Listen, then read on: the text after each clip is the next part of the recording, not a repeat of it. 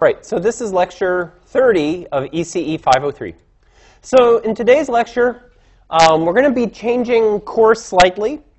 So, um, so as opposed to the last 29 lectures where we have been exhaustively talking about all of this deterministic stuff, we're going to take a different tact, and we're now going to look at more the random phenomenon and how we use signal processing in order to do cool things like in lecture 31, uh, autoregressive and moving average and autoregressive moving average type of functions.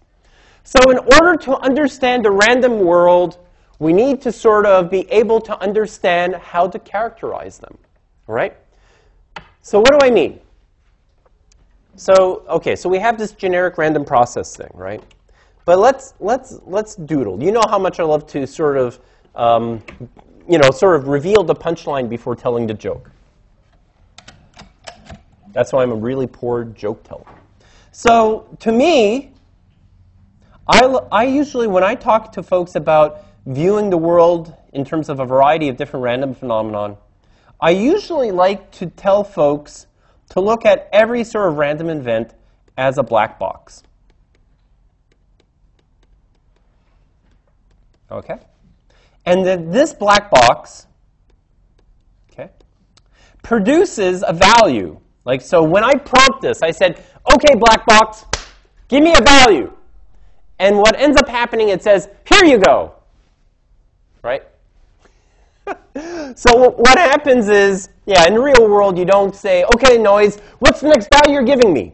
But this black box model sort of helps at least put into context a little bit about what we mean by a random event, a random variable. So what a random variable is, okay? So is, suppose we have this random variable. So this is my way of saying this is a capital X. So what happens is this capital X essentially is your black box. It is a variable. We don't know what it produces. And then at some point when we look at it, it says, here you go. And little x is that output of that black box, right? So what ends up happening is x can assume a range, sorry, a range of possible values.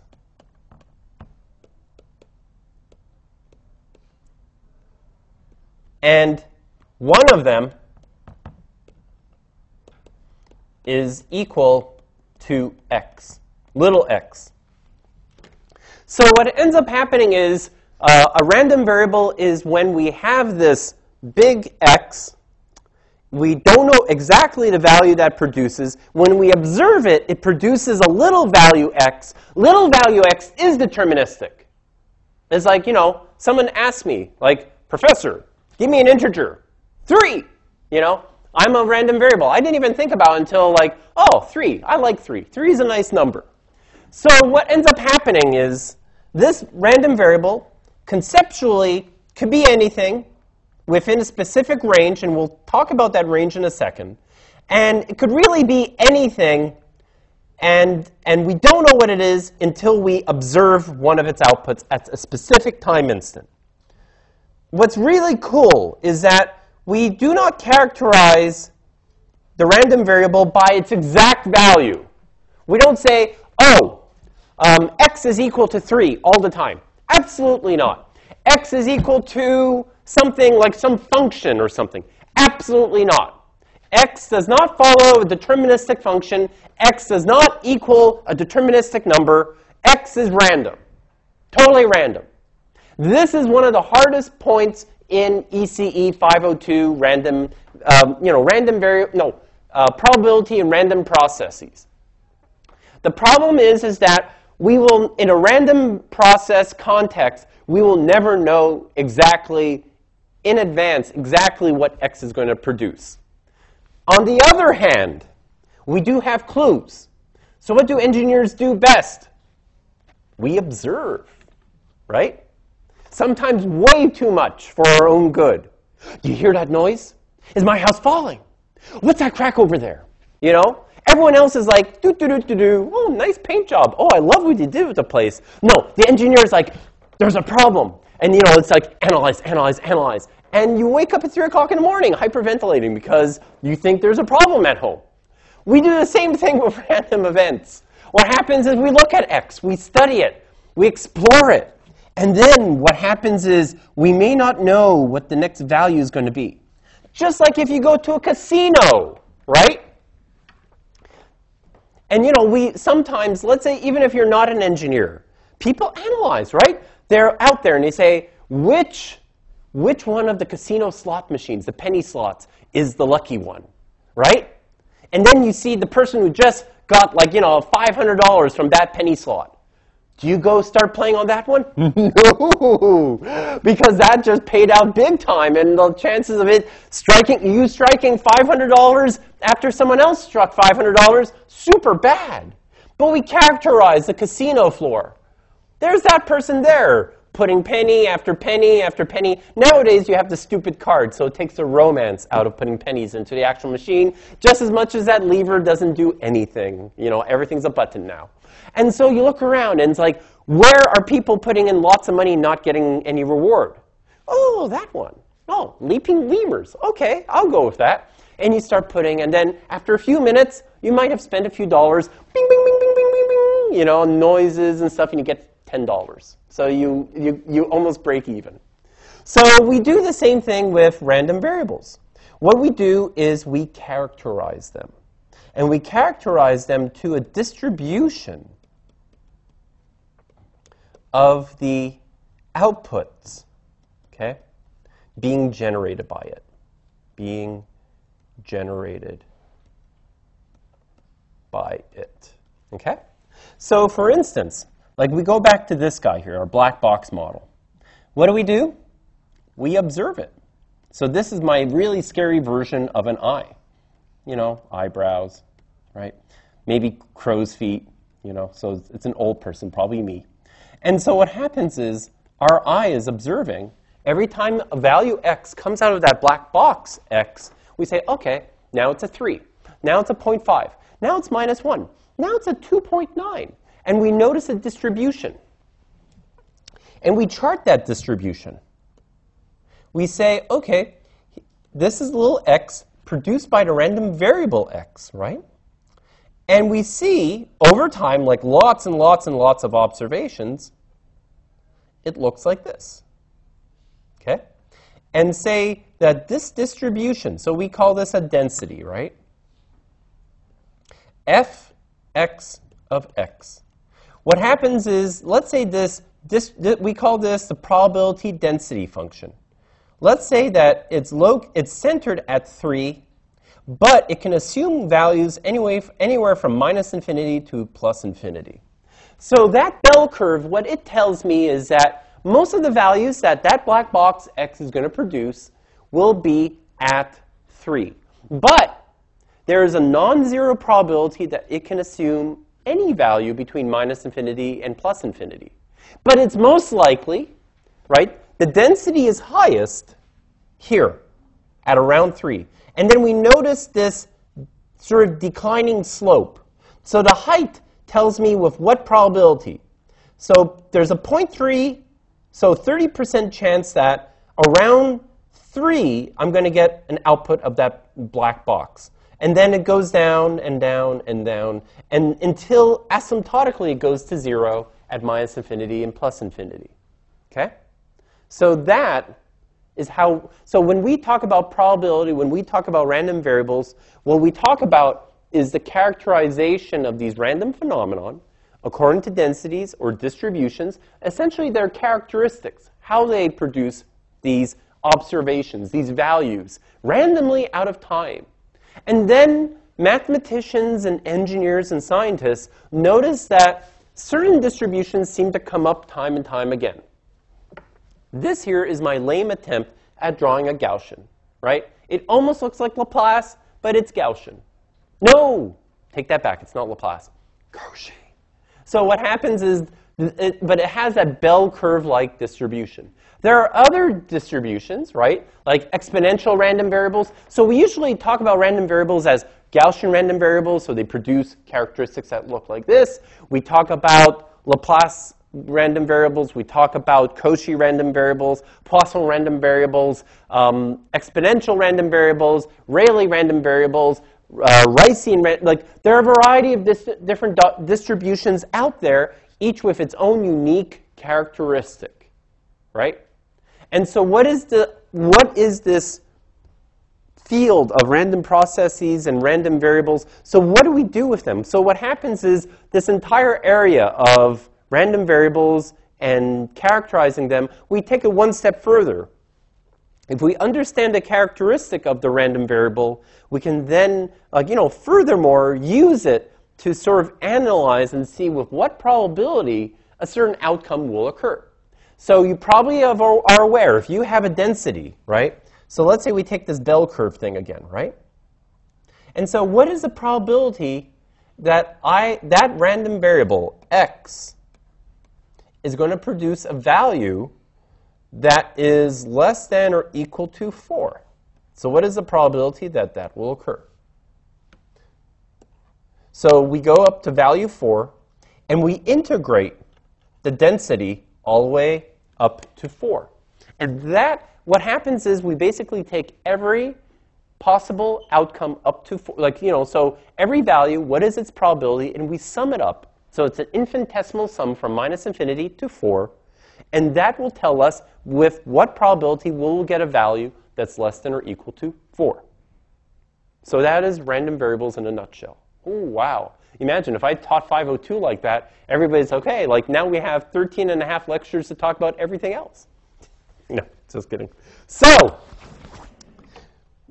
if only, you know, I'm not sure. I, th I, I think whenever I hear this, I, I get kind of irritated when people say it. But I'm going to say it anyway. If only it were that simple. So what happens is life. Oh my God, am I sounding ancient? So what happens is life is not just static random variables. What happens is, in, in reality, random phenomenon and its characterizations change over time. So that is a curveball to the random variable concept. So now what you've got, so let me erase this and redo everything. And now we throw in the factor of time. So now what happens, here's my black box.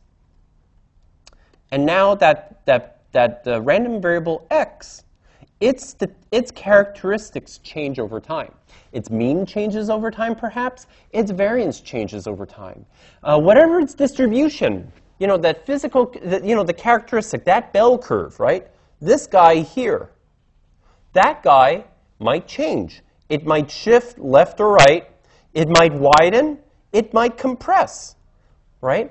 It might not even look like that anymore. And there are other higher order statistics that characterize it that might change over time as well. So this characterization may change. Okay, so warning. May change over time.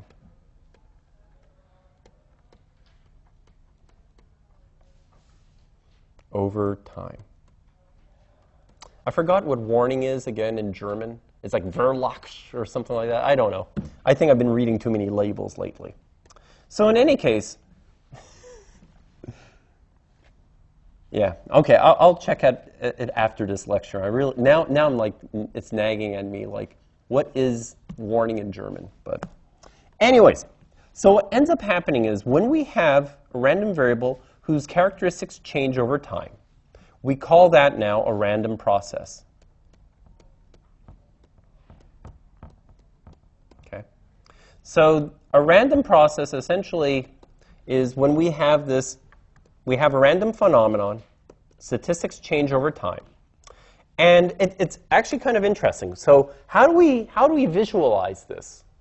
So let's, let's, let's, um, let's, let's look at the, this cool diagram that I usually use in order to characterize how a random process works. Okay? So um, you probably have seen this. So first of all, we usually, so what, what do engineers do well other than draw lima beans? Um, so what, what engineers do well is we take the physical world and we characterize it using mathematics, right? That's what we do, right? Even at the, uh, let's say, that casino floor, how do we characterize that that slot machine is going to be way luckier than that? Based on observation, even though I'm not prescribing a number to it, I'm giving it some sort of qualitative weight that that slot machine that hasn't paid out big yet will be more likely to pay out, at least when I play it, rather than that one which just gave out a large payout. But let's say we can characterize anything, any sort of event. And so what happens is we have a space, we call it omega. Oh, I love omega. And what happens is we have an event. Okay? And we call it little omega. So what ends up happening, so what, what do engineers do? So we first of all go back to the random variable thing. So what does the random variable, what's one part of that random variable um, step?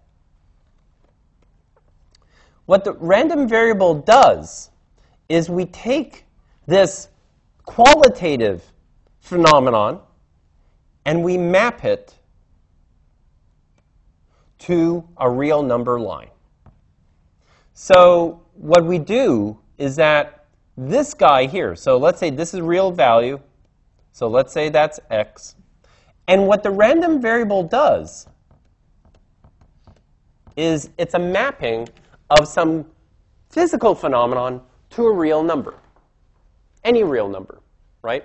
And then the probability that omega, let's call it omega 1, occurs, well, that's where that black box model comes up. Like, what is the probability that that value x will come up uh, through this mapping? How much more will that come up than, let's say, this mapping of omega 2, omega 3, omega 4? So this mapping, this function, so your random variable is the mapping from the physical sort of space here, right? Omega over to the real line. Now, random process, an RP. What an RP is, is it's a little bit more complicated. What it is, is it's x, it's omega, and it's t. And so in a way it's going to look like, right, is the following. So what you've got is you have time, okay? And suppose you're mapping, so let's say this is the value, the numerical value of omega 1 over time.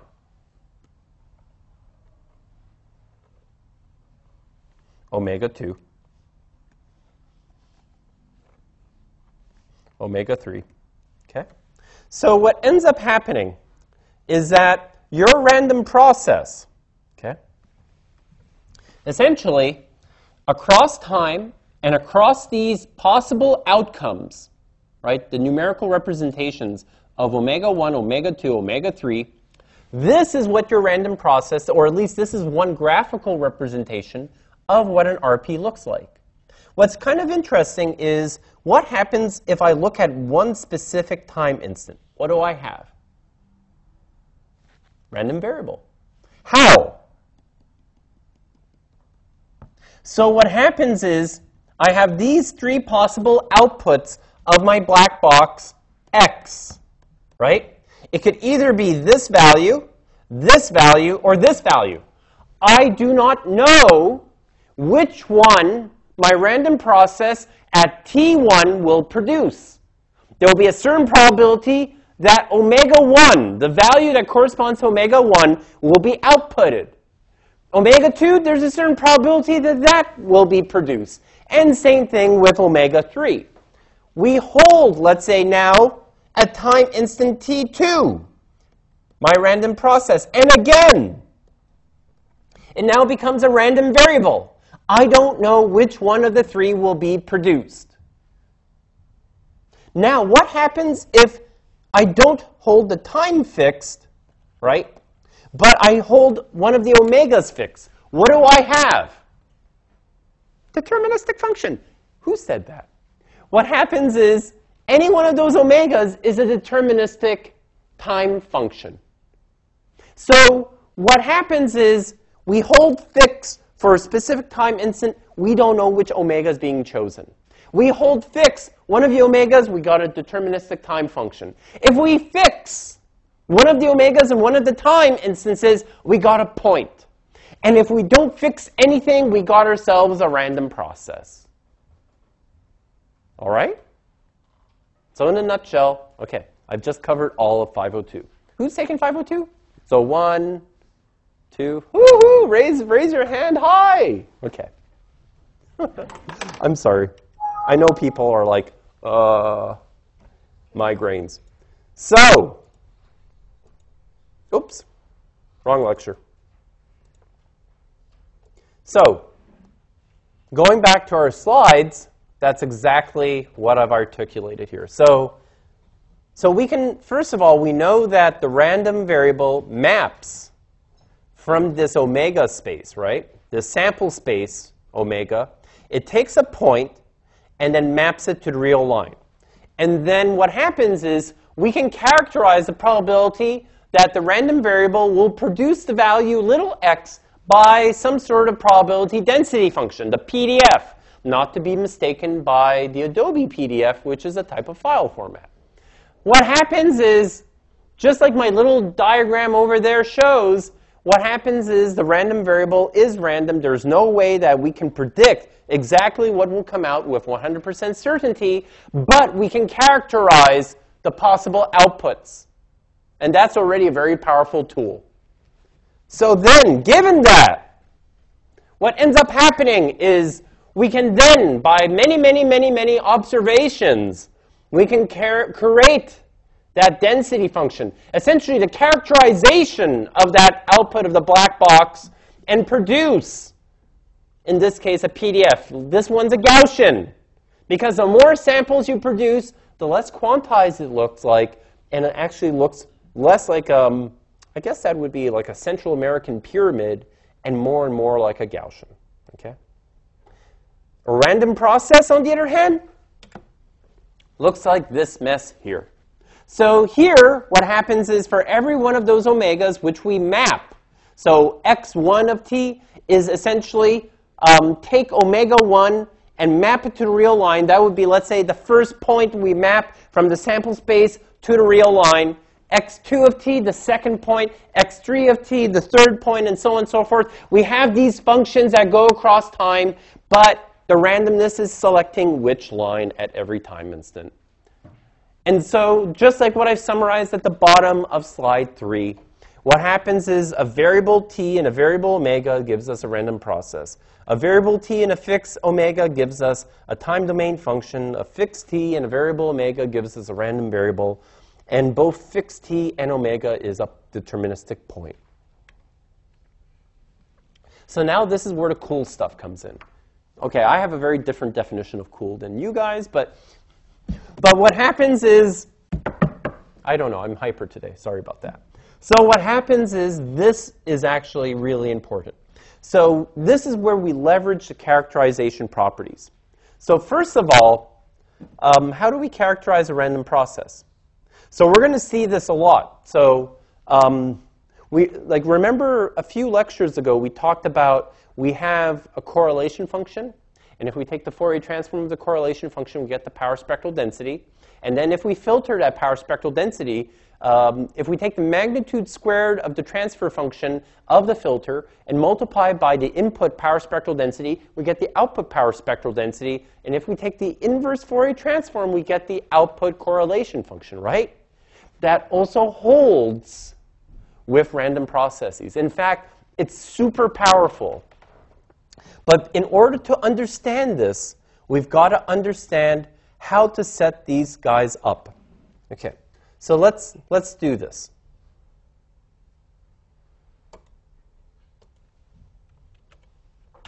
So what ends up happening, so we're going to use capital P to represent probability. We're going to ditch omega, little omega, just for simplicity of notation. And so when we have this guy.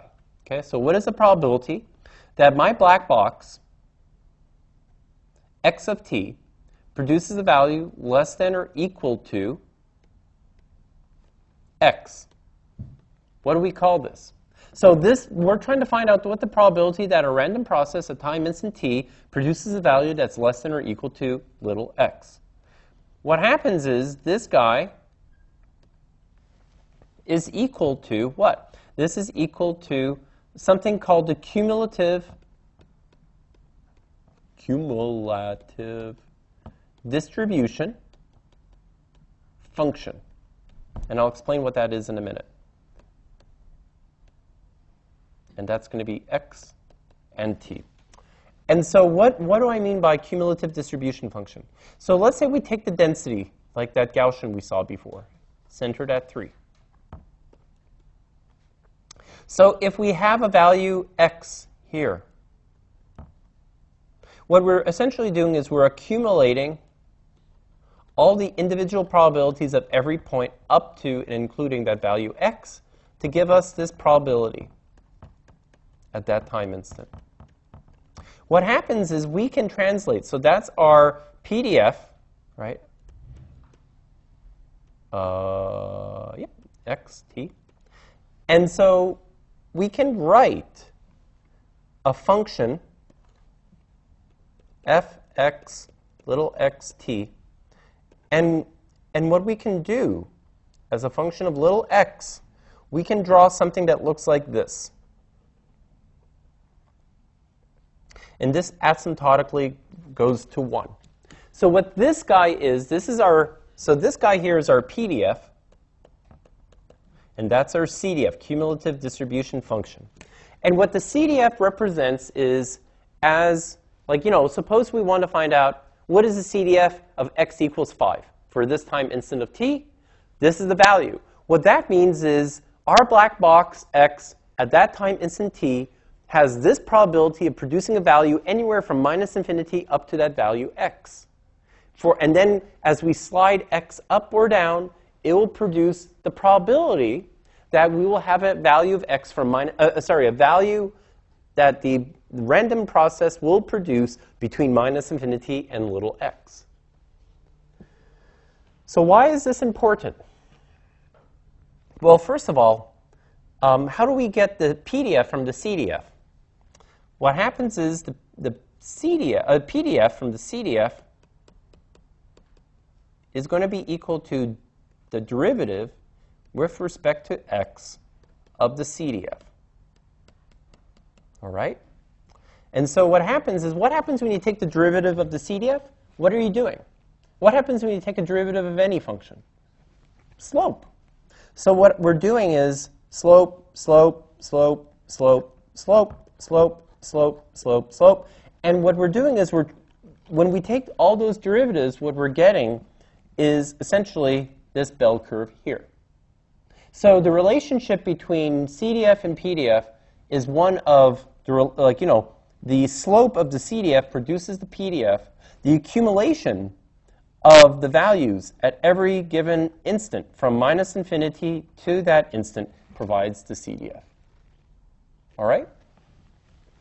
Now, that's kind of interesting, but what I'm really interested in, more importantly, is the relationship between two time instances of the same random process. So how do I mean? So let's go back to that messy tangle of functions, right? Right? So this is x of t, right? And so what happens, and that's t. So what I'm really interested in is what is the relationship, what is the joint CDF and the joint PDF at T1 and T2 of the same random process. That interests me a lot. Okay? So what I'm really interested in is, first of all, what is the relationship, the joint CDF and the joint PDF of that? And it's very, it's, it's, it's relatively straightforward. So what happens is so we take these two points, and what our what, what it will translate into is essentially, so our joint CDF will look like this. So, so we're going to have um, essentially, like, well, actually, do I do a better job? Let's keep. Do I do a better job here? Uh, sort of. Okay, let, let's, let's go back to the diagram. I thought I did a better job there. So what happens is, suppose you have f of x, x1, um, x2, t1, t2. And so what this guy is going to be equal to is essentially what is the probability, okay, that x at t1 is going to be less than x1, and x at t2 is going to be less than or equal to x2. So it's the joint probability at these two different time instances of this random process and these two different values, x1 and x2. So that is our joint CDF. How do you get the joint CDF from the joint PDF? You take two derivatives, one with respect to x1, one with respect to x2. So to get f of x, x1, x2, t1, t2, we would do second order dx1, dx2, f, x, x1, x2, t1, t2. So the derivative is respect to x1 and x2. And that would give us essentially a two-dimensional um, a two-dimensional distribution. Okay? For that t1 and t2. All right? And why do we care about this? Because what we're going to see is that there's some very interesting characteristics that we can look at with respect to random processes when we investigate how they behave with each other at two different time instances along the same process. Okay? So given that,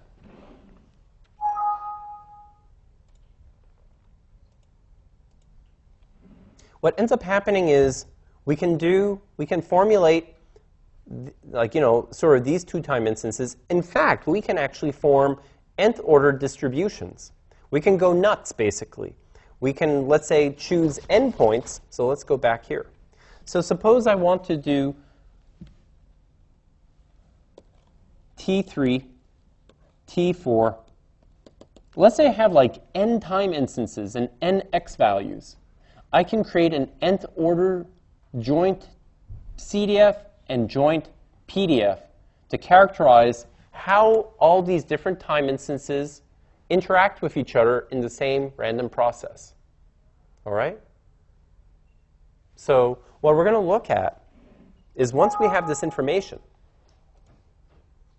the next step is learning how to characterize it. So, you know, the simple characterization, so we have like PDFs and CDF, and this is that question in probability I always, I always ask. Uh, what sort of characteristics perfectly describe a random variable or random process? And the answer is it's PDF or it's CDF, hands down. The mean? No. The mean just gives you, okay, most of the uh, values are centered around this point, right? The variance? Mm, maybe. It gives you a little bit more information. But 100% characterization is always the PDF and the CDF. So what I'm really interested in is, for instance, and we're going to be looking at this quite extensively, is how do two points on a ran random process correlate with each other? What do I mean? So what I mean is, how does the information at one time instant in a random process, how much does its outcome affect an outcome at time t2 of the same random process, right? So the autocorrelation means that auto signifies that we're looking at the same random process, and correlation means that we're taking two time instances on the random process, that same one, and we're saying, okay, dear, here are these two time instances. How much, how much correlation, how much information um, how, how do these two time instances influence each other? And so that's what we call autocorrelation. And the way we calculate the autocorrelation between time instant t1 and t2 of random process x, we take the expectation, e, right, of xt1 omega and xt2 omega complex conjugate, in case it is a complex conjugate value, right? And how do you calculate the expectation?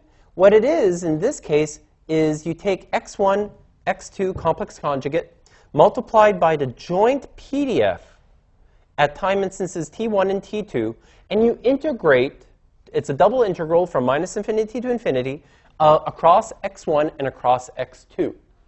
This will give you the autocorrelation between these two time instances. The autocovariance is a little bit more interesting. We subtract off the mean. So the autocovariance is almost the same as the autocorrelation, except that in this case, we subtract off, so that should be a minus. We take the autocorrelation and we subtract off the mean function mxt1 and mxt2 uh, complex conjugate. Oh, I, I wanted to indicate our mean function. When we do all these you know, autocovariance, autocorrelation, the mean functions, and we do these integrals and these expectations. So we have two variables here. We have t and we have x. We are doing this with respect to x. Okay? t, t is, time function is always there. This is going to vary always with time. It's always with respect to x that we do these operations, these uh, integrations and such. Correlation coefficient is just a sing single number so let's say you don't want a complicated function describing the relationship, the correlation, or the covariance, autocovariance of two time instances within the same random process. The correlation coefficient gives you a number that says, is this very correlated? Is this very anti-correlated? Is there any correlation? Is there zero correlation? This coefficient is a single number that ranges from minus 1 to 1 that says is this really correlated or not? It's like kind of like between 1 and 0, how correlated are you to XYZ, right? And then I mentioned about autocovariance and autocorrelation. There's also something called cross correlation and cross covariance. So cross co so sometimes some folks might want to know how correlated are two time instances on two totally different random processes. So let's say I have random process x and random process y, and I have time instant t1 and time instant t2. How correlated are these two guys on two different random processes? That's where the cross correlation and the cross covariance comes in. All right. So to round off everything, why, so why am I belaboring this thing about the co covariance and the correlation and the autocorrelation and the cross correlation and the like. The reason is we want to, there's one property, you know, so the, like, you know, we go back to that crazy messy diagram. This guy here. So we go back to this guy here.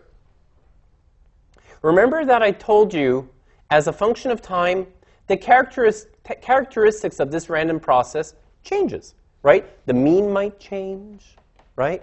Variance might change. Like a variety of different properties might change from time instant to time instant to time instant.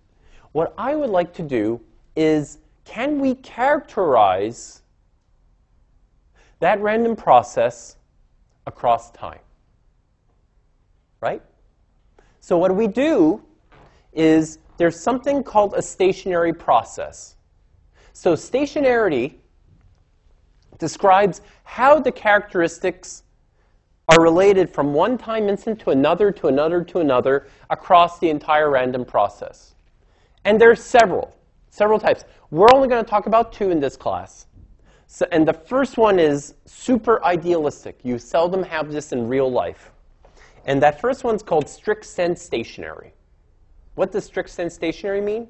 It means that the characteristics of the random process from one time instant to another, to another, to another, don't change. Okay? So let me bring up the, the official definition. So it means a random process x of t of omega is strict sense stationary, or SSS, if its statistical properties are totally invariant to time shift. That means whatever its mean and whatever characterization, whatever its whatever whatever distribution it has from this time instant to the next time instant to a long time from now, it is invariant to the time shift. But not real this doesn't really happen much in life. This is the one that's kind of interesting, a lot of people use, and it mostly characterizes a lot of what happens in the real world. It's something called wide sense stationary. And wide sense stationary means that if my random process is wide sense stationary, it, it must follow the following two. The mean function, that mx of t, is a constant.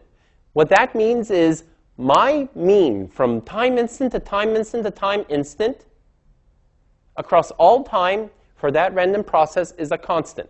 And the other thing, the autocorrelation function between two points on the same random process is a function of the relative time separation between two points, not the absolute.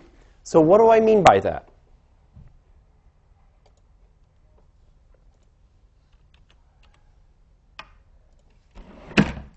So let's go back to my random process diagram. Okay?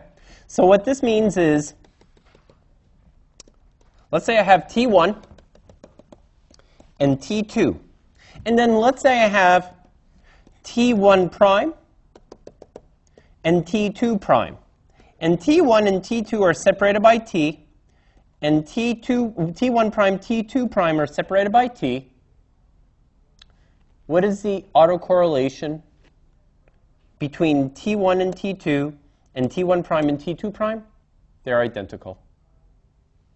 So wide sense stationary, what happens is your autocorrelation function depends only on the relative separation between two time instances, not their absolute value.